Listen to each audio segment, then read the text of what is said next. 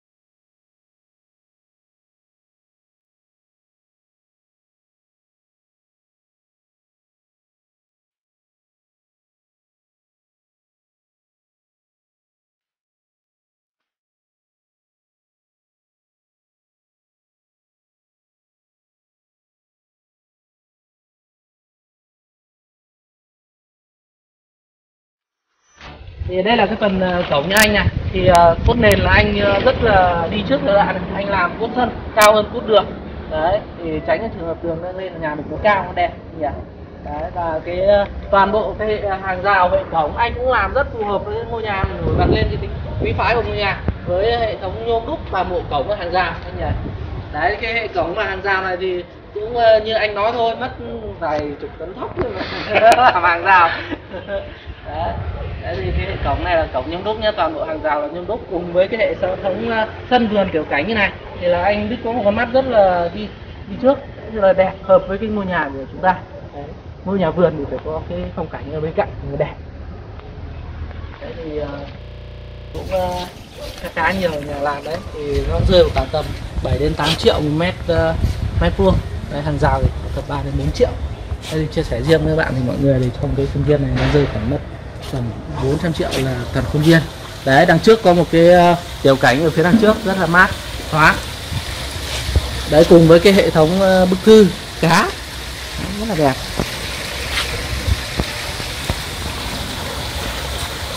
Đấy buổi trưa mà bật này hoặc là ngủ góc vách này nghe vui tai như ở trên vùng núi đây.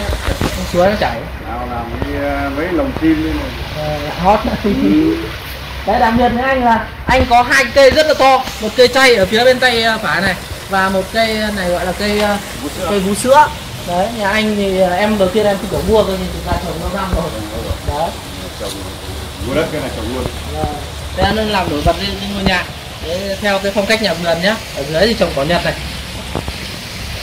Đấy còn đây là cái mặt tiền của ngôi nhà chúng ta với chiều dài là 13 mét. Đấy chiều sâu là 11 mét 3 thì ờ, thì thì cái đây là cái phần thực tế ở bên ngoài được trang trí bởi cái các cái chi tiết tàu chỉ cửa chính thì làm bằng cửa gỗ rồi còn hệ thống cửa sổ thì làm bằng ờ, nhôm hệ. Đấy rất là sáng và thoáng. Đấy màu sơn cũng rất là phong cách. Màu sơn trắng cùng với những cái phào chỉ sơn màu khác. Đấy và phần bên trên gần mái thì được trang trí bởi những viên gạch ốp rất là đẹp. Đấy, các bạn có thể nhìn rõ những cái viên gạch ốp ở trên đây đấy nó làm làm nổi bật cái phần trên và phần dưới lên anh Đức nhỉ? Em thấy cái phần phần, phần trên lên được. Tân việt ý. Và đấy thì ngói cũng là một trong những cái loại ngói xịn đấy tân việt ý. Ngói này là không bị rêu mốc các thứ đâu. Và nghệ sơn của nhật hết đấy. và hãy công nghệ nhật hoàn toàn. Đấy thì ờ, các bạn có thể nhìn là là thêm nữa là hệ thống cột này. hệ thống cột. Đấy cột là cột vuốt lên trên nhá và được trang trí ờ, ốp đá vào cùng với hệ thống đèn. Nhìn nó rất là bắt mắt và là điểm nổi bật cho ngôi nhà thì ờ, các bạn có thể nhìn trực tiếp vào cái bộ bản vẽ. Cái nhà này là mình ờ, làm cao là ba mét chín đúng không anh? và đấy, chiều cao của cái nhà là ba mét chín.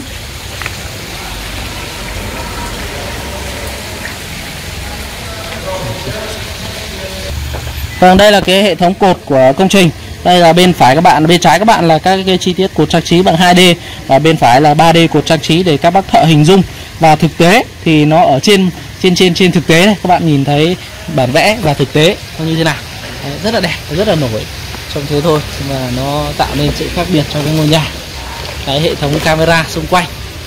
Đấy và ở dưới bên chân chân của của của cái ờ, công trình đấy chúng ta sẽ có cái hàng dây cây cảnh và ốp gạch xung quanh để tránh bẩn cho phía xung quanh lên tốt không không và ốp đá đúng không anh Ờ, khỏe khỏe trông khỏe khoắn cũng sạch nữa.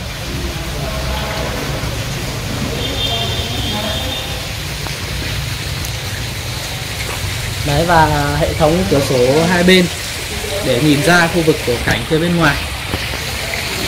Đấy, hệ thống cửa là toàn cửa sổ rộng thôi nhá. Cửa sổ bốn cánh rộng cũng lật em mở. Và đi đi lại được bốn xung quanh của ngôi nhà. Đấy, hệ thống ngói ngói tràn vào tận phía bên ngoài rất là đẹp. Đấy, phào chỉ là phân đâu ra đấy rõ ràng. Nhìn nó mạch lạc nó khỏe khoắn cho nhà vườn của chúng ta. Đấy hòa hợp với rất là hòa hợp với thiên nhiên. Rồi thì mời các bạn cùng vào bên trong. Xem bên trong của công trình nhá.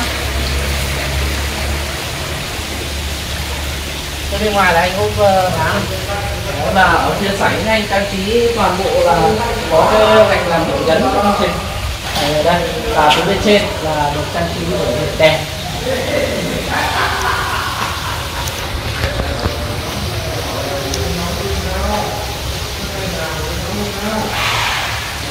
và sảnh chính ở đây của chúng ta là rộng ờ, 7,5 mét vuông nhé khá là rộng và sinh hoạt tương đối thoải mái. Cửa chính thì ở đây chúng ta dùng cửa bốn cánh bốn hai cánh nhỏ hai cánh to. Vừa có ý nghĩa phong và vừa là để to này. Các tay cầm cũng rất là đẹp. Đấy ạ à, mời các bạn cùng vào sâu vào bên trong nhé thì à, ở phía sảnh đây thì à, cái hệ thống tay cầm cũng rất là đẹp này. Gỗ rất là đẹp. Và ở bên trong nhà được phân với ngoài hiên là năm phân và bên xung quanh là ốp gạch chân tường ra tận phía bên ngoài nhà nhé. Đấy và đây là cái phần ờ, công năng bên trong nhà. Thì ờ, trong nhà các bạn có thể nhìn thấy là đây là cái phần ờ, 2D của công trình này. 2D công trình gồm phòng khách ở chính giữa này cùng với khu vực phòng thờ ở sâu bên đây và phía bên trái là phòng bếp cùng với một hai ba phòng ngủ này một nhà hai nhà vệ sinh là 2D của công trình. Và tiếp theo là cái khu vực 3D của công trình. Đấy đây phần 3D thì có thợ rất là dễ hình dung và gia chủ cũng rất là dễ hình dung về cái công năng sử dụng bên trong nhà. Đấy thì mời các bạn đi từng phần một của cái công trình này nhé thì uh, ta sẽ nhìn ở khu vực ờ, sảnh chính của ngôi nhà. Đây thì đứng từ sảnh chính đây mọi người có thể nhìn được ờ, khu vực trang trí ở giữa là khu vực phòng khách đối diện với chính giữa. Đây là khu vực phòng thờ. Đấy chính trước cửa rất là đẹp. Và nó kết hợp với cái hệ ờ, gần như là bức bức, bức tranh. Phong cảnh ở giữa che chắn cho bàn thờ. Đấy. Nó có cái ý nghĩa riêng. Đấy, đối diện với phòng thờ rất là đẹp. Bức tranh phần mặt phía đằng trước thì ở phía bên phải đây cũng là cái khu vực trang trí phòng khách và phía bên trái là phòng bếp các bạn có thể nhìn hình dung qua. Thì uh, tiếp theo thì mời các bạn đi vào cái khu vực phía bên trái trước đi. Bên trái từ ngoài nhà vào thì chúng ta sẽ có một cái khu vực phòng ngủ ở đây. Đấy ở đây là cái phòng ngủ uh, ngủ uh, đầu tiên. Thì phòng ngủ đầu tiên này với uh, diện tích là 14 mét vuông có hai vị trí cửa sổ và cửa sổ nhìn ra phía đằng trước và cửa sổ phía bên phải của của cái phòng ngủ này. Cái phòng ngủ này với diện tích là ba mét rưỡi nhân với 4 mét ba. Đây là chiều dài chiều rộng của cái công trình và lát gạch là bên trong phòng ngủ là cũng lát gạch 80 80 nhé rất là rộng. Ôm gạch chân tường đây ạ. Ở trên uh, rất là thoáng mát rồi bên trên lại kết hợp với cái hệ trần thạch cao. Đấy bên trên là kết hợp với cái hệ thống trần thạch cao. Đấy phòng ngủ này là một cái cửa của ngôi nhà vừa để nhìn ra bên ngoài và vừa nhìn vào khu vực xung quanh. Đấy cửa thì là hệ thống cửa gỗ khuôn bao rất là rộng rất đẹp. Cái phòng này gần như là phòng quán của công trình.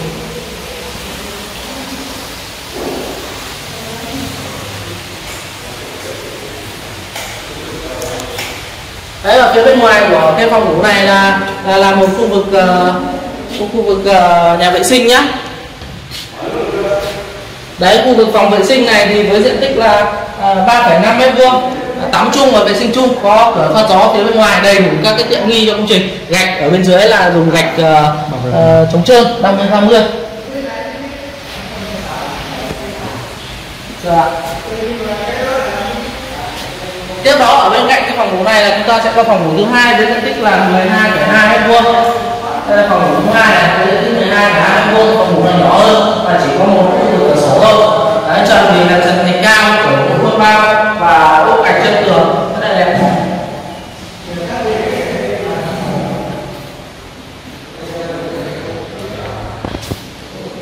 đó rất là thoáng mát cửa thì với những ngôi nhà như thế này của gỗ quân bao sẽ tạo nên một cái vẻ sang trọng cho ngôi nhà nhé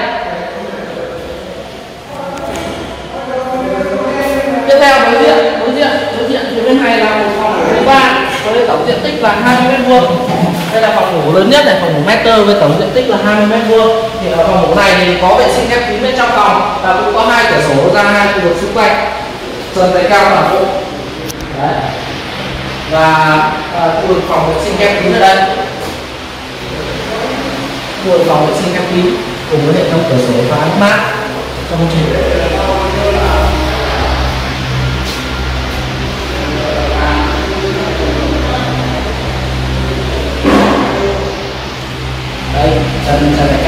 đây là cái phòng ngủ master của công trình đấy phòng ngủ master của anh chị. Đây thì các bạn vừa tham quan ba cái phòng ngủ của cái căn nhà à, rộng rãi nhà vườn mái tái này. Thì à, tiếp theo thì không gian quan trọng nhất là không gian phòng khách phòng uh, và phòng bếp.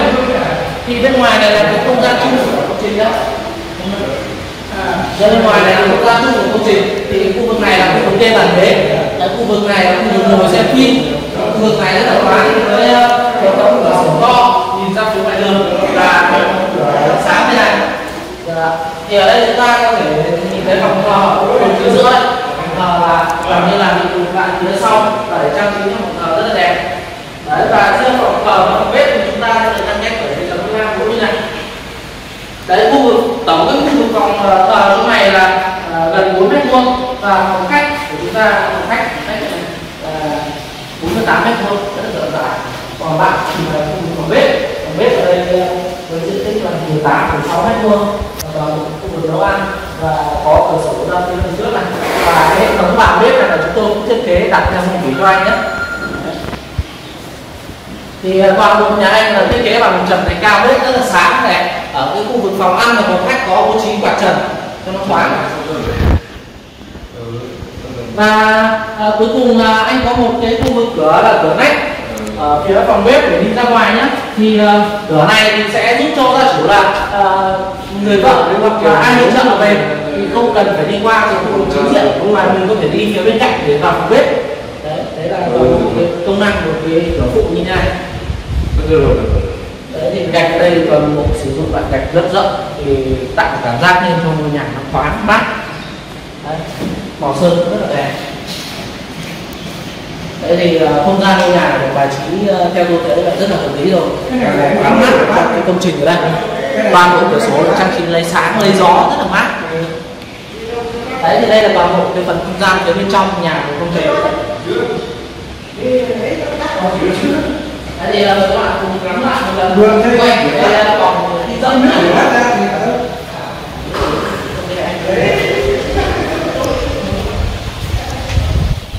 thì ờ, ngôi nhà này đã được thi công trong vòng ờ, 5 tháng thì ờ, tiến độ rất là hợp lý. Và cái bên trên nhé bên trên bên trên đây là dùng bằng hệ thống xà gồ thép cộng ngói vít nhé ngói vít ngói của Tân Thần Ý một cái lượng ngói mà cũng rất có chất lượng và có tiếng trên thị trường mà công ty chúng tôi rất là tin tưởng sử dụng và đã giới thiệu cho gia chủ. Đấy, theo, theo phong cách mới. Thì rất là đẹp. Thì công trình này được xây dựng trong vòng 5 tháng và được công ty chúng tôi cung cấp đầy đủ bộ bản vẽ từ kiến trúc, kết cấu, điện, nước và bóc tách điện toán, kiến trúc thì kết hợp với phong thủy. Trong quá trình thi công thì chúng tôi sẽ hỗ trợ cho gia chủ mọi mặt trong quá trình thi công để xây dựng nên một ngôi nhà ưng ý và hoàn thiện nhất. Thì à, nếu các bạn có cái ờ, nhu cầu gì hoặc là muốn ờ, tham quan kỹ hơn thì hãy liên hệ với chúng tôi về số điện thoại, về cái số điện thoại bên dưới để xem rõ hơn ngôi nhà này. Cái ngôi nhà này tổng chi phí là hết khoảng tầm ờ, một tỷ để xây dựng nên cái ngôi nhà này và phía sân vườn là hết khoảng tầm 400 đấy rất hợp lý rất là đẹp. Đấy thành một cái dinh thự cho mình rồi. Với uh, bỏ ra khoảng gần ờ, chắc là tỷ rưỡi. Đấy thì rất là đẹp tỷ rưỡi. Đấy, được cái dinh thự như này. Thì mọi người thấy là có hợp lý không? Và chỉ cần bỏ ra một chút tiền thiết kế là các bạn nhận lại được khá nhiều như anh gia chủ chia sẻ từ lúc ờ, đầu chương trình đấy ạ. Thì nếu các bạn có bất kỳ thắc mắc gì về quá trình xây nhà về ngói về quá trình thiết kế về quá trình thi công thì à, về các cái mẫu nhà đẹp mà các bạn đang băn khoăn thì hãy liên hệ với chúng tôi qua số điện thoại bên dưới. Công ty của phần kiến trúc Kisato sẽ sẵn sàng tư vấn thiết kế cho bạn những cái mẫu nhà đẹp nhất uh, hoàn thiện nhất và phù hợp với ý tưởng của gia chủ và và cái phong cách của uh, xã hội hiện nay. Xin chào và hẹn gặp lại các bạn trong cái chương trình chia sẻ về cái mẫu nhà tiếp theo và các cái review về cái mẫu nhà và hẹn gặp lại các bạn trong một ngày gần nhất về sẽ Kisato sẽ hợp tác với các bạn để xây dựng ngôi nhà ước mơ. Xin chào và hẹn gặp lại các bạn.